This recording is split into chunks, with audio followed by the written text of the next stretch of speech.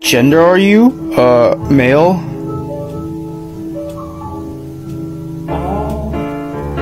Attracted to- oh, You prankster!